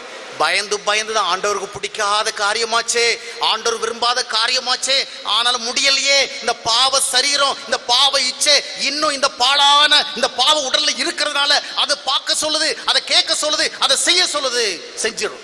ஆனா செஞ்சு முடிச்ச பிறகு கண்களிலிருந்து கண்ணீர் வருகிறது. தப்பு பண்ணிட்டேனே. என் ஆண்டவருக்கு இது பிடிக்காது. அவர் என்னை ரத்தத்தினால கழுவி சுத்திகரித்தாரே. பரிசுத்தாவியை கொடுத்து என் புள்ள நீ என்னுடைய மகன்னு சொன்னாரே. அப்படிப்பட்ட ஒருவன் தகுதியில்லாத காரியத்தை செஞ்சுட்டேனே. வேதனையா இருக்குதுன்னு கண்ணீர் வடிக்கிறான். அதோட நிக்காம ஆண்டவரே என்ன ஒரு முறை மன்னிப்பீங்களா? ஒரு முறை என்ன மன்னிப்பீங்களா? உமக்கு பிடிக்காத செஞ்சுட்டேன். தப்பு பண்ணிட்டேன். எனக்கு மனசுல நிம்மதி இல்லை ஏதோ ஒரு வேகத்துல விறுவிறுப்புல முடியாம இந்த சூ- வேகத்துல பண்ணிட்டேன். என்ன மன்னிப்பீங்களா? கேட்கிறான் இவன் பாவி அல்ல. அல்லேலூயா. இவன் மறுபடியும் பிறந்தவன். மறுபடியும் பிறந்ததுனால தான் தான் பண்ணது தப்பு. தப்பு பண்ணிட்டேன்னு மன வருத்தப்படுறான் ஆனா இன்னொரு தினம் ஹே, இதெல்லாம் பெரிய விஷயமா? எவன் பண்ணல? விசுவாசி பண்ற பத்தி பேசுற பேசுறீங்க பாஸ்டர்களே எவ்வளவு பண்றாங்க? பாஸ்டர் பண்ற தப்ப? ஒரு விசுவாசி பண்றது கூட நமக்கு உரிமை இல்லையா என்ன? இவன் தாங்க பாவி. எந்த ஒரு பாவம் தொடர்ந்து உங்களை வீழ்த்தி கொண்டிருக்கிறதோ அதுதான் பாவி. தாவிது தன்னுடைய வாழ்க்கையில ஒரு தவறை செஞ்சான். வேணும்னு செய்யல ஒரு வேகம் தப்பு பண்ணிட்டான். அதோட என்ன பண்ணல? நான் ராஜா என்ன வேணாலும் பண்ணலாம். இந்த காலத்துல எந்தெந்த ராஜா எவ்வளவு தப்பு பண்றான்? அப்படி இருக்கலையே. ஆண்டவரை என்ன மன்னிப்பீங்களா? எனக்கு நிம்மதி இல்ல ஆண்டவரே. எனக்கு சந்தோஷம் இல்ல ஆண்டவரே. என் எலும்பெல்லாம் உடையுது ஆண்டவரே. எங்க போனாலும் என்னுடைய அரண்மனையினுடைய அழகான தோட்டம் என் கண்களுக்கு தெரியல. நான் கல்யாணம் பண்ண பெண்களுடைய தோட்டம் எனக்கு தெரியல. என் பாவமே என்னுடைய கண்களுக்கு முன்பாக நிற்கிறது. இந்த சூழ்நிலையோடு என்னால் வாழ முடியவில்லை. எனக்கு ஒரு சந்தோஷத்தை தாரும். கதறி கேட்டான் பாருங்க. அவன் பரிசுத்தவா நலிலுயா தேவனால் பிறந்தவன் எவனும் தவறு என்கிற விஷயத்துல மன தாராளத்தோடு செயல்பட முடியாது. தவறு செய்துவிட்டு அதிலேயே தொடர முடியாது. தவறு செய்துவிட்டு நிம்மதி இல்லாம நிம்மதியோடு வாழ முடியாது. ஒரு வாலிபன் தப்பு பண்ணான் தப்பு பண்ணிட்டு அவனுக்கு தொடர்ந்து போதனை கொடுத்து கொண்டிருக்கிற ஒரு ஊழிய காட்ட போறான் பிரதர் நீங்க பண்ண பிரசங்கம் ரொம்ப நல்ல பிரசங்கம். அதன்படி தான் வாழ விரும்பினேன். ஆனாலும் எவ்வளவோ முயற்சி பண்ணி இருக்கிற வேலை கொஞ்சம் ஸ்லிப் ஆயிட்டேன். எனக்கு ரொம்ப மனசு கஷ்டமா இருக்குது. எனக்கு நிம்மதியே இல்லை. ஆண்டவர் என்ன மன்னிப்பாரா? நீங்க எனக்கு அவன் ஜெபம் பண்ணுவீங்களா? இல்ல நான் இந்த தப்பு இனி பண்ணாம இருக்கிறதுக்கு நீங்க எனக்கு ஏதாவது ஆலோசனை தருவீங்களா? அப்படின்னு கேட்கிறான் இவன் பாவியா பரிசுத்தவானா? இவன் தான் பரிசுத்தவானுங்க. ஏன்? பாவத்தோடு அவனால ஈஸியா போக முடியல. ஆனா இன்னொருத்தன் வரான். பிரதர் நீங்க நல்லதாக பிரசங்கம் பண்றீங்க. அருமையா இருக்குது. உங்க புத்தகங்கள் ரொம்ப டாப் எல்லா பசங்களும் படிக்கணும். ஆனால் நீங்கள் சொல்கிற மாதிரி யாரும் ஒழுக்கமாலாம் வாழ முடியாது. நான் பாருங்கள் உங்கள் புக்கையும் படிப்பேன் தப்பும் தவறுகளெல்லாம் ஒழுங்காக பண்ணுவேன். நீங்கள் எதெல்லாம் புக்கில் தப்புன்னு சொல்கிறீங்களோ அதையெல்லாம் நான் செஞ்சுட்டு தான் இருக்கிறேன். பார்க்கக்கூடாதாலும் பார்க்குறேன் கேட்க கேட்குறேன் போக போகிறோம் வர எல்லாம் நடந்துகிட்டு இருக்கு ஒன்றும் முடியாத பிறதா இந்த உலகத்தில். இந்த மாதிரிலாம் நீங்கள் சொல்கிற மாதிரி வாழ முடியாது. இவன் யார்? இவன் தான் பாவி. பாவத்துக்கு வாசலை திறந்து விட்டு விட்டான். பாவத்தை அவன் சுலபமாக செய்வதற்கு தன்னுடைய வாழ்க்கையை பக்குவப்படுத்தி மறுபடியும் பிறந்தவன் எவனும் பாவம் என்கிற விஷயத்துல ஒரு எதிர்ப்புணர்வோடு இருப்பான். பாருங்கள் நான் எழுத போகிற இடங்கள்ல சில நேரத்தில் பார்த்தீங்கன்னு சொன்னா நான் அப்படி உட்கார்ந்து இருக்கிறவள்ள பெரிய பெரிய பாம்புகளெல்லாம் அப்படி ஓடும். நான் காட்டு பகுதியிலலாம் எழுத போவேன். ஏன்னா ஆள் இல்லாத இடத்துல தான் எனக்கு வேலை நடக்கும். அந்த மாதிரி போகிற நேரத்தில் பார்த்தீங்கன்னு சொன்னால் பெரிய பெரிய பாம்புகளெல்லாம் ஓடும். ஆனால் அந்த இடங்களில் நான் போய் உட்காந்து எழுத தான் செய்கிறேன் ஏன் தெரியுமா? என் பக்கமாக ஒரு பாம்பு வருதுன்னு சொன்னால் நிச்சயமாக நான் கண்டுபிடிச்சிடுவேன் எப்படி கண்டுபிடிப்பீங்க? ஏய் ஒரு பாம்பாட்டி வேலையெல்லாம் செய்கிறாரோ இல்லை. அந்த காட்டு பகுதியில் இருக்கின்ற சின்ன சின்ன பறவைகள்.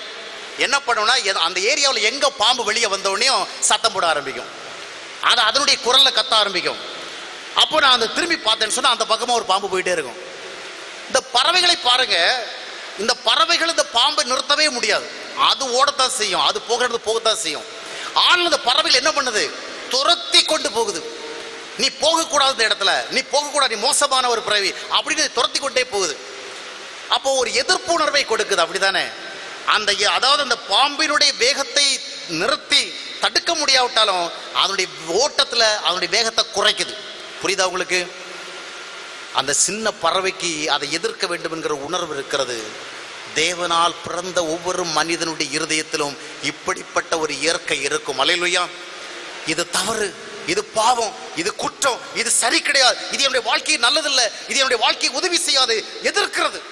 அந்த எதிர்ப்புணர்வு இருந்தால் நீங்கள் மறுபடியும் பிறந்தவர்கள். அல்லேலூயா. எளிதாக போய் சொல்லுகிறீர்களா? வாய்க்கு வந்தபடி சண்டையிட்டு விட்டு ஆண்டவரைக்கு சோத்தரிக்கிறீர்களா அந்நிய பாஷை பேசிக்கொண்டு அனாவசியமான பாஷைகளை பேசிக் கொண்டிருக்கிறீர்களா நீங்கள் மறுபடியும் பிறந்தவள் அல்ல. நீங்கள் எடுத்த மூலிகை ஞானசானமோ எந்த ஞானசானமோ செல்லுபடியாகாது. தட் இஸ் இன்வேலிட் பாவ எதிர்ப்புணர்வு இருக்கிறதா? அவ்வளவு பொய் சொல்லிட்டு அல்லேலியா சோத்திரம் போட்டு சோத்திரம் பண்றீங்களே நீங்களா மறுபடியும் பிறந்தவங்க? இல்லை. மறுபடியும் பிறந்த ஒவ்வொரு மனிதனுக்குள்ளும் பாவத்திற்கு எதிரான ஒரு உணர்வு. பாவம் செய்து விட்டால் செய்து விட்டேனே என்கிற ஒரு மன வருத்தம். இனிமேல் பாவம் செய்யாமல் வாழ வேண்டும் என்கிற ஒரு ஆசை. இதுதான் மறுபடியும் பிறந்தவனுக்கு ஏற்படுகிறது. அல்லேலுயா. இரண்டாவதாக எந்த எந்த ஒரு கருத்தை நான் நிறைய பேசுறதுக்கு நேரம் இல்லை இரண்டாவதாக சகோதரி சொன்னாங்க ஒரு மனுஷன் மறுபடியும் பிறந்திருந்தா அவனுக்கு ஒரு தாகம் வரும். என்ன தாகம்னு சொன்னா தேவனுடைய வார்த்தைகளுக்கான தாகம். அல்லேலூயா. ஒன்று பேர் இரண்டாம் மத்திய மூன்றாம் வசந்த வாஸ்து பார்த்தீங்கன்னு சொன்னா நீங்கள் திருவசனமாகிய ஞான பாலின் மேலே வாஞ்சியா இருங்க. ஒரு மனுஷன் மறுபடியும் பிறந்த உடனேயே அவனுக்கு என்ன நடக்கும்னு சொன்னா அதுக்கு பிறகு அவனுடைய வாழ்க்கையில பண ஆசை இல்ல பொருள் ஆசை இல்ல ஆடம்பர ஆசை இல்ல பெண்ணாசையோ மண்ணாசை அல்ல. இந்த ஆசையெல்லாம் இருக்கத்தான் செய்யும். ஆனா அது அவனுக்கு தாகமாகவோ மோகமாகவோ மாறாது. அவனுக்குள்ள ஒரு தாகம் வரும். என்ன தாகம்னா ஆண்டவர் எதையாவது பேசி நான் கேட்கணுமே. அல்லேலூயா. கல்யாணம் ஆன பிறகு மனைவி என்ன எதிர்பார்ப்பா? என் கணவன் என்கிட்ட நாலு வார்த்தை பேசணுமே அப்படின்னு. கணவன் என்ன எதிர்பார்ப்பான்? எதிர்பார்க்கிறீங்களா? ஐயோ பேசாம இருந்தா நல்லது பிரதர் நாலு வார்த்தை ஒரு வார்த்தை பேசினாலே தாங்க முடியல ஆ? ஒரு வார்த்தையே தாங்க முடியல நாலு வார்த்தை பேசி விடுங்க. இருந்தாலும் கல்யாணமான புதுசுல அவங்க நாலு வார்த்தை பேசணுங்கிற ஆசை வந்திருக்கும். அப்படிதானே அவங்க நிறைய பேர் அந்த ஏரியாலும் கடந்து தானே வந்திருக்கிறீங்க ஆ? ஏதாவது நாலு பேச வாயை திறந்து சும்மா வாயை மூடிக்கிட்டு உட்காந்துருக்கிற அப்படி சொல்கிறோம்ல கொஞ்சம் காலம் பிறந்த வாயை மூடிட்டு உட்கார போறியா என்ன? இதுக்கு மேல் வாயை திறந்து நடக்கிறத வேற கோர்ட் வரைக்கும் போயிடுவேன். ஆமாம் முதல்ல பேச. பொம்பளைன்னு சொன்னால் பேச வேண்டாமா? ஆம்பளைக்கு ஆ, பொம்பளை பேசினா தானே சந்தோஷமாக இருக்கும் அதுக்கப்புறம் பேசணும். இருந்தாலும் ஒரு உறவு ஏற்பட்ட உடனேயே ஒரு வார்த்தை பேசணும். கணவன் வெளியூர் போயிட்டான் நாலு நாள் ஆச்சு அஞ்சு நாள் ஆச்சு அந்த மனுஷன் ஒரு டெலிஃபோனே பண்ணல. ஒரு பத்து நாளைக்கு பிறகு திடீர்னு ஃபோன் பண்ணி கேட்குறான் நல்லா இருக்கிறியா? நல்லா தான் இருக்கிறேன். நீங்க எங்க போனீங்க? எத்தனை நாளா உங்ககிட்ட ஒரு வார்த்தை வரும் வரும் வரும்னு எதிர்பார்த்துருந்தேன். நான் ஒருத்தர் இருக்கிறேன்னு உங்களுக்கு ஒரு நினைப்பு கூட இல்லையா? ஏன் அந்த மாதிரி சத்தம் போடுறாங்க? கொஞ்சம் பேர் சத்தம் போடும் எப்படி? வெளியூர் போயிட்டாங்கன்னா உனக்கெல்லாம் எதுக்கியா மனைவி பிள்ளைங்க? போனா அப்படியே சீனை மறந்துடுறியே. உனக்கெல்லாம் பொண்டாட்டி பிள்ளைகள் தேவையா? நீ போனியே இங்க ஒருத்தர் இருக்கிறா பிள்ளைங்க இருக்கு ஒரு வார்த்தை கேட்டியா? ஆனா எல்லாரும் அப்படி கிடையாது. ஆனா இன்னொருத்தவங்களோ உங்க போனுக்காக எத்தனை நாள் காத்து காத்திருந்தோம் தெரியுமா? இரவுல கூட பன்னெண்டு மணி ஒரு மணி. ஏன்னா உண்மையான உறவென்ற ஒன்று ஏற்படுகிற பொழுது ஒரு வார்த்தை தாகம் வருகிறது. அப்படிதானே ஒரு வார்த்தை தாகும். தேவனால் பிறந்த மனிதனுக்கு அந்த தேவ தகப்பனிடத்திலிருந்து ஒரு வார்த்தை கேட்கணுமே. ஒரு காலத்துல பாண்டிச்சேரியில அடுத்த வேளை சாப்பாட்டுக்கு வழி இல்லாம நான் திகைத்து கொண்டிருந்த வேலையில இங்க இருந்து கடலூருக்கு பஸ் ஏறி போவேங்க. கடலூருக்கு பஸ் ஏற காசு இருந்தா இங்க நாலு இட்லி வாங்கி சட்னி சாப்பிட்டு நான் ச- திருப்திப்படுத்த முடியும். அங்க ஜெயதாஸ் ஜோசப்னு ஒரு சகோதரர் இருந்தார். அவர் பேசுறத அங்க இருக்கிறவங்களே நிறைய பேர் கேட்க மாட்டாங்க. ஆனா நான் போவேன். அவர் ஆபீஸ்ல இருந்து வந்து தளர்ச்சியோட வருவார். எனக்கு அதிகபட்சம் ஒரு டீ ஒரு பஜ்ஜி வாங்கி கொடுப்பார். நாங்க ரெண்டு பேரும் உட்காந்து நிறைய பேசுவோம். இந்த ஒரு வார்த்தையை கேட்கறதுக்காக நான் இங்கிருந்து கடலூருக்கு போவேன். அங்க இருக்கிறவங்க வர மாட்டாங்க காரணம் என்னவென்றால் எனக்கு வார்த்தை தேவைப்பட்டது. எங்கேயாவது போய் யாரிடத்திலாவது போய் என்னுடைய வாழ்க்கை சூழ்நிலை தேவனிடத்தில் ஒரு வார்த்தை வர வேண்டுமே என்கிற ஒரு தாகு காரணம் என்னவென்றால் நான் கண்டது உண்மையான மறுபடியும் பிறந்த அனுபவம். அலையலுயா அந்த ஒரு வார்த்தைக்காக அவ்வளவு தூரம் நான் போறேன். வார்த்தையை குறித்த ஒரு தாகம். அலையலுயா இன்னைக்கு நிறைய பேருக்கு வார்த்தை குறித்த எதிர்பார்ப்பு இல்லை. திருச்சபைக்கு செல்லுகிற எத்தனையோ பேருக்கு ஒரு எதிர்பார்ப்பும் இல்லை. பிரசங்க நேரத்தில் அருமையா தூங்கிட்டு அப்படியே எழுந்து வந்துடுறாங்க. அக்கம் பக்கத்துல வார்த்தை கேட்கறதுக்கு ஒரு வாய்ப்பு இருக்கா? அதை பயன்படுத்திக்க இருக்கிற ஆர்வமே கிடையாது. ஏன்னா வார்த்தை தேவையில்லை. நீ மறுபடியும் பிறக்கவில்லை. மறுபடியும் பிறந்திருந்தால் வார்த்தை எங்கே? வசனம் எங்கே? தேவ சத்தம் எங்கே? என்று நீ அலறுவாய் தாகம் கொள்வாய். உனக்கு தாகம் இல்லை காரணம் you have not been born again. நீ மறுபடியும் பிறக்கவே இல்லை. மறுபடியும் பிறந்திருந்தால் வார்த்தையாக்காக நீ எல்லாவற்றையும் தியாகம் செய்வார் சிலர் பார்த்தீங்கன்னா பிரதர் அருமையான பிரசங்கம். பிரியாணி மாதிரி இருந்தது. நல்ல ஒரு பிரியாணி கொடுத்தீங்க பிரதர் முன்னாடி இப்படி எல்லாம் சொல்கிற வேலை நான் எப்படி புரிஞ்சுக்கிட்டேன்னா நம்ம பிரசங்கம் ரொம்ப நல்லா இருந்து போல இருக்கணும் சிலர் சொல்லுவாங்க அருமையான சாக்லேட் மாதிரி வார்த்தை. அருமையான சாக்கு ஐஸ்கிரீம் மாதிரி. அப்போ எல்லாம் கேட்டவளை எனக்கு ரொம்ப சந்தோஷமாக இருக்கும். பரவாயில்ல நல்ல பிரியாணி மாதிரி நம்ம வார்த்தையை கேட்டிருக்காங்க. அப்புறம் தான் யோசித்து பார்த்தேன் இந்த பிரியாணி சாப்பிட்றவங்க டெய்லி சாப்பிட்றது கிடையாது. அப்படி தானே என்னைக்காவது கல்யாண வீட்டுக்கு போனால் இந்த சுகர் கம்ப்ளைண்ட் உள்ளவங்க பிபி கம்ப்ளைண்ட் உள்ளவங்க வீட்டில் கிடைக்காதது அங்கே கிடைக்குதேங்கிற ஆர்வத்தில் என்ன பண்ணுவாங்க? வரது வரட்டும் இன்சுலின் இன்சுலின் போட்டுக்கிட்டு மாத்திரை எதாவது போட்டுக்கிட்டு மெயின்டைன் பண்ணிக்கலாம்னு அடிச்சு பிடிச்சி சாப்பிடுவாங்க.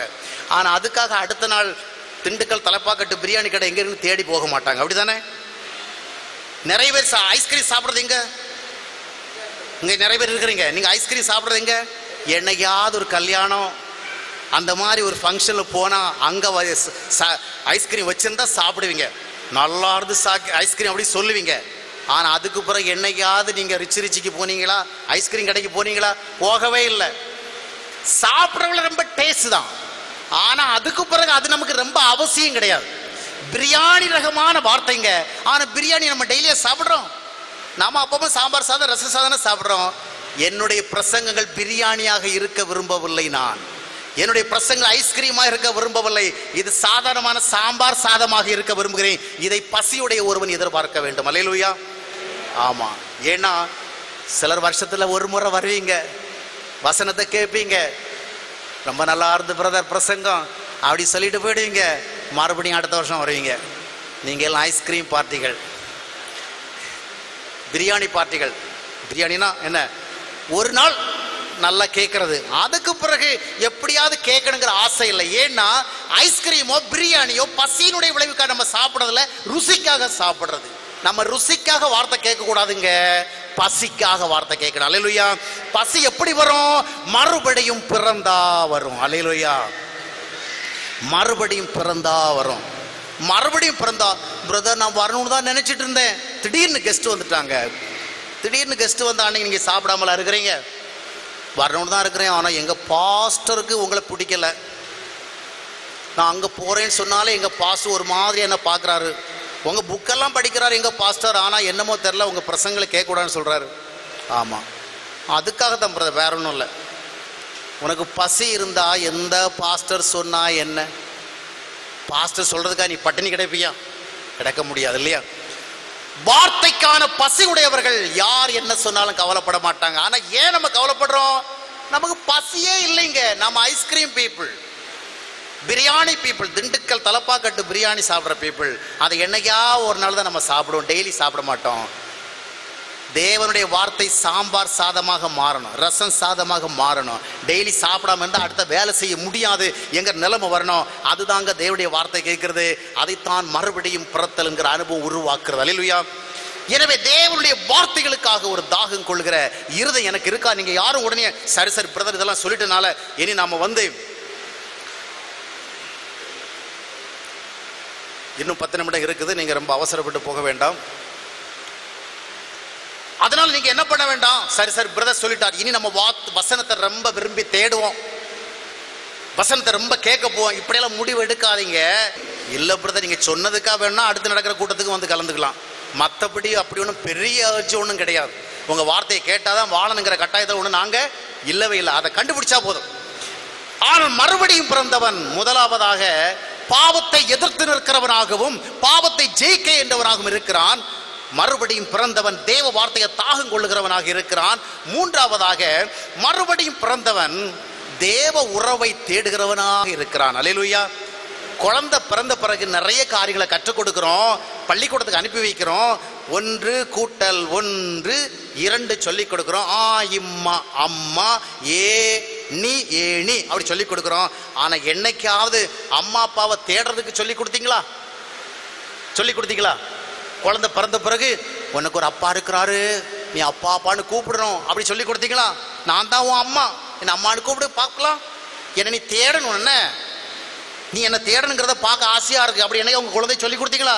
நீங்க சொல்லி கொடுக்காமலே குழந்தை தேடும். அலையலுயா பிறந்த உடனேயே அதுக்கு ஒரு தாய் இருக்குன்னு சொல்லி அழ ஆரம்பி. எங்க அந்த தாய்?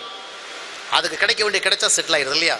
அதே போல தேவனால் பிறந்தவர்களுக்கு தேவனை தேடுவதற்கு சொல்லி கொடுக்க தேவையில்லை கட்டாயப்படுத்தி சொல்ல தேவையில்லை. அந்த தேவனால் பிறந்த அனுபவமே அவர்களை தேவனை தேட வைக்கும். உங்களுக்கு அந்த தாகம் இருக்குதா? பணத்தை தேடுகிற தாகம் இருக்குது பொருளை தேடுகிற தாகம் இருக்கு அந்தஸ்தை தேடுகிற தாகம் இருக்கு ஆடம்பரத்தை தேடுகிற தாகம் இருக்கு கௌரவத்தை தேடுகிற தாகம் இருக்கிறது நான்கிற எண்ணத்தை தேடுகிற தாகம் இருக்கிறது. தேவனை காண வேண்டும் தேவ பிரசன்னத்தை காண வேண்டும் தேவ ஐக்கியத்தை நான் எனக்குள் உணர வேண்டும் என்கின்ற தாகங்கள் எல்லாம் உங்களுக்கு இருக்கிறதா? மறுபடியும் பிறந்திருந்தா இது வந்திருக்கு ஏன்னா நம்ம மறுபடியும் பிறக்கின்ற பொழுது என்ன நடப்படுகிறது? ரோமர் எட்டு வந்து என்ன சொல்கிறது? அப்பா பிதாவே என்று கூப்பிட பண்ணுகிற ஆவி வருது. அலையிலுயா. மறுபடியும் பிறந்த பிறகு பரலோகத்தில் இருக்கிற தேவன் அப்பா! அப்படின்னு கூப்பிடுற ஒரு ஆத்தும இயற்கை தாகம் உருவாகும். அல்லேலூயா எனவே அருமையார் தேவனால் நீங்கள் பிறந்திருந்தால் தேவ உறவை தேடுகிற ஒரு ஆர்வம். இன்னைக்கு சபைக்கு வந்து மக்கள் பிரசன்னத்தை தேடுறாங்க. கொஞ்சம் பேருக்கு ஏதோ ஒரு ஜப கூட்டத்தில் வந்தோன்னு அப்படியே கொஞ்ச நேரம் ஆடணும். யாரை ஆட வைக்க ஒரு பாஸ்டர் வேணும். ஹாலல்லூயா ஹாலல்லூயா அப்படி சொல்ல வைக்கணும். அந்நிய பாஷை பேச வைக்கணும். பதினஞ்சு நிமிஷம் பாஸ்டர் படாத பாடுபட்டு இவங்களை துதிக்க வைக்கணும். அவங்க ஒரு பிரசன்னத்தை அனுபவிக்கணும். நிறைய பேர் வந்து விழ விரும்புகிறாங்க விழ விரும்புகிற நிறைய காரியங்கள் நடக்கிறது. சமீபத்தில் நான் வந்து தருமபுரிங்கிற இடத்துக்கு போனேன். அந்த பெருங்கூட்டம் பெருங்கூட்ட மக்கள் ஒரு கூடுகையில் கலந்துக்கிட்டு இருந்தாங்க. அந்த ஆராதனை நடந்த விதையெல்லாம் கவனிச்சு பார்த்தீங்கன்னா சினிமாவுக்கும் அதுக்கும் கொஞ்சம் கூட வித்தியாசம் இல்லை. ஆனால் அதெல்லாம் நடந்து முடிஞ்ச உடனே கொஞ்ச நேரத்தில் பார்த்தீங்கன்னா அந்த ஜனங்கள் அவ்வளவு வல்லமையோடு இது பண்ணாங்க. நான் யோசனை பண்ணி பார்த்தேன் எப்படி இந்த வல்லமை வந்தது? வல்லமை வர்ற மாதிரி நாலு வார்த்தை பேசப்படவே இல்லை. ஆனால் இந்த ஜனங்களுக்கெல்லாம் எப்படி ஆவி வந்து எங்கிருந்து அவர் இதோ இறங்குகிறது இறங்குகிறது இறங்குறது பெற்றுக்கொள்ளுங்க. ரிசீவ் ரிசீவ் ரிசீவ் எங்கேயா இப்படி பைபிள் சொல்லுது அப்படியே ஒரு ஊழியக்காரன் இறங்கட்டு இறங்கட்டுன்னு சொல்லுவான் உடனே அது இறங்கி வரணும். பரிசுத்தாவியானவர் என்ன குட்டிச்சாத்தானா நீ இறங்கு இறங்குன்னு பாட்டு பாட்டணும் வர்றதுக்கு. தர்மபுரியில் நான் அந்த ஹோட்டலில் தங்கியிருந்தாலும் இந்த பா காட்சியை பார்த்தோன்னே எனக்கு மனசு கஷ்டம் வந்துச்சு. அங்கேயே நான் ஒரு சின்ன பாடல் பாட ஆரம்பிச்சிட்டேன். சும்மா என்ன சொல்றது? கிராமத்தனமா? உலகம் போகிற போக்கில தான் போகிறாங்க. மனசு காட்டுகிற வழியில தான் நடக்கிறாங்க. உலகம் போகிற போக்கில தான் போகிறாங்க. மனசு காட்டுகிற வழியில தான் நடக்கிறாங்க. பாடல் நல்லா தான் பாடி துதிக்கிறாங்க. பாடல் நல்லா தான் பாடி துதிக்கிறாங்க. பரிசுத்த வாழ்வினையோ மறந்தே போனாங்க. பரிசுத்த வாழ்வினையோ மறந்தே போனாங்க. புரிஞ்சிக்க முடியலையே. நான் காணும் கிறிஸ்தவத்தை வேதம் சொல்லுவதும் இதுவும் மேச்சாகல இந்த வேதம் சொல்லுவதும் இதுவும் மேச்சாகல ஜனங்களுக்கு பரச வேணும். யாராவது நம்மளை உழுக்க மாட்டாங்களா விழ வைக்க மாட்டாங்களா அபிஷேகத்தை இறக்க மாட்டாங்களா அந்நிய பாஷை பேச வைக்க மாட்டாங்களா அப்படியே நம்ம ஒரு பரவச சூழ்நிலைக்கு கொண்டு வர மாட்டாங்களா? ஏதாவது ஒரு ஊழிக்கிற அப்படி பரவசத்தில் நம்ம உடனே உங்களுக்கு அந்நிய ஒரு இலவ கவர வருதீர் லக்க வரவா சந்தர பல உத்தரலி கவர புதக்கர வரவா வந்துடும் ஆவி வந்துச்சு அதுக்கு பிறகு பாவியை போல வாழ்க்கை. ஒரு அந்தரல வந்தரல வந்தரல வந்தர வந்தரம் நாலு அந்தரவும் சொல்ல அந்நிய பாஷை வரும். நான்காவதாக நேரம் நெருங்கிவிட்டது. நான்காவதாக மறுபடியும் பிறந்தவனுடைய வாழ்க்கையில் ஒரு பெரிய ஆசை இருக்கு. என்ன ஆசை தெரியுமா? நான் தேவ சாயலாக மாறணும். நான் ஒரு பரிசுத்தமான ஒரு வாழ்க்கையை வாழணும். அவங்க வாழ்ற மாதிரி இவங்க வாழ்றது மாதிரி இல்லை. தேவன் சொன்னபடி வாழணும். ஒரு பரிசுத்த தாகம். வாழ்வதில் வெற்றி காண முடிகிறதோ இல்லையோ?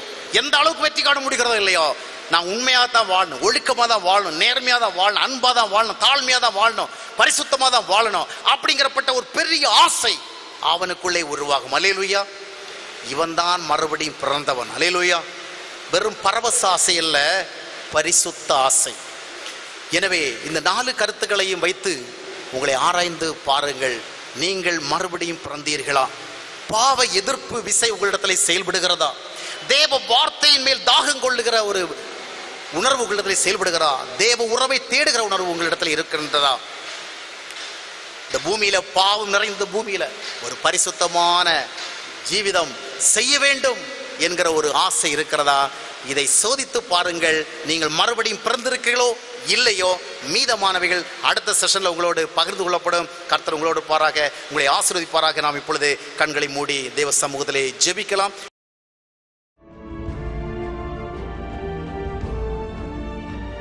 சகோதரர் சாம்சன் பால் ஆண்டுதோறும் வெளியிடுகின்ற தினசரி தியான நூல்கள் ஜீவ நீரோடை மாத இதழ் பிரசங்க விசிடிக்கள் மற்றும் பல்வேறு தலைப்புகளில் புத்தகங்கள் தொடர்பான விவரங்களுக்கு எங்களுக்கு எழுதுங்கள். தொடர்பு முகவரி சகோதரர் சாம்சன் பால் நூற்றி இருபத்தி ஆறு முத்தைய முதலியார் வீதி பாண்டிச்சேரி ஆறு பூஜ்ஜியம் ஐந்து பூஜ்ஜியம் பூஜ்ஜியம் மூன்று இந்தியா. தொலைபேசி எண் பூஜ்ஜியம் நான்கு ஒன்று மூன்று இரண்டு இரண்டு மூன்று ஆறு பூஜ்ஜியம் நான்கு இரண்டு.